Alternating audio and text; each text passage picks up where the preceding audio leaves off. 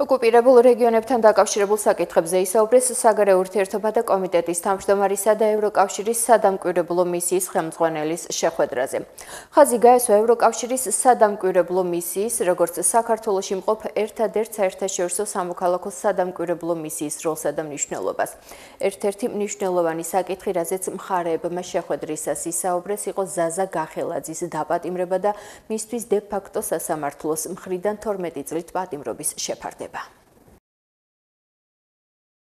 ერთ-ერთი მნიშვნელოვანი საკითხი, რომელიც ჩვენ განვიხილეთ, ეს იყო ზაზა კახელაძის დაპატიმრება და მისთვის დე ფაქტო სასამართლოს მხრიდან 12 წლით პატიმრობის აღკვეთა.